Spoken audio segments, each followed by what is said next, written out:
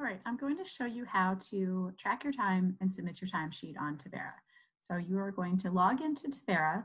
Um, and so this is a two-step process. Time tracking is something that you should do every day that you go into field, ideally because you keep it fresh in your mind, um, but that is different than submitting your timesheet. So we come into Tevera and we're gonna click timesheet. You can get to it here on the side or over here where it says enter time. Find the day that you're entering time for, and you're going to break your time down into some specific categories. So today is June 29th. Um, let's say it was my first day and I spent two hours in orientation and training. Um, maybe I spent an hour in supervision. Um, maybe I spent half an hour so I could put in 0.5 um, observation and um, then maybe I spent another half an hour doing some paperwork. Um, so my time is entered. That is as simple as that. You can enter time for days that happened in the past. You can't enter days that have happened forward. So I've entered it. It's going to keep track of cumulatively what I've done. That is time tracking. Now to submit your timesheet, um, again, you come back into Tevera and you're going to find this under assignments. So we'll go to complete assignments um, and you'll see all the assignments that are due for your class. I'm going to go into my June 2020 hours report. I've already started this, um, but if you haven't, it will just look a little bit different. So we'll open this up.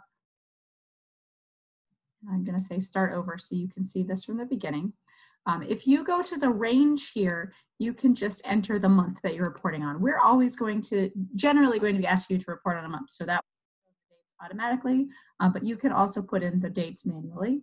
And you're going to do this, accumulate hours from the dates you selected above, regardless of what the date is that you're running the report. That would be a different setting. Um, your name should populate here. Your program um, would be a master's or bachelor's, depending on what you're in. Um, and then the time track, again, depending on which internship you're currently doing. So you'll select that. For the field instructor, um, you're going to select your field instructor. If you are in a situation where you have a field instructor and a site supervisor, you're going to select both of them. So I can go ahead and, and enter a different person in here.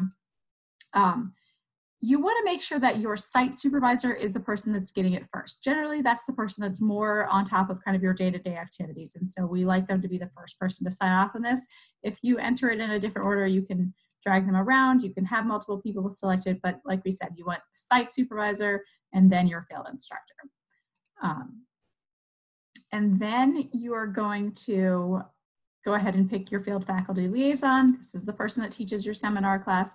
This little button here where it says filter hours by field instructor, this is for a scenario when you are um, maybe doing work in two different types of settings. And so for example, if you're in the Summer Policy Institute and you're tracking some hours with that, you have different supervisors that sign off on. You can still just do this as one report if you click that button um, and then you select both supervisors. Otherwise, you don't need to worry about that filter hours button. You just put in your field instructor and site supervisor if you have one. You put your field faculty liaison in here, and you're going to go ahead and click send for signatures.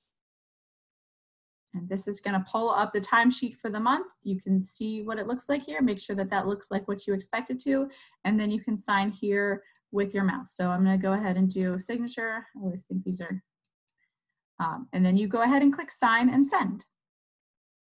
And that is how you submit your timesheet. It is going to automatically send a copy to the people that we've listed in that order. So site supervisor, if there is one, field instructor, um, and then once those signatures are there, it will go to your field faculty liaison. So at this point, you have turned it in.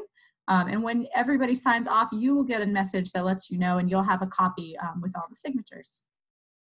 So thanks. I look forward to seeing your timesheets.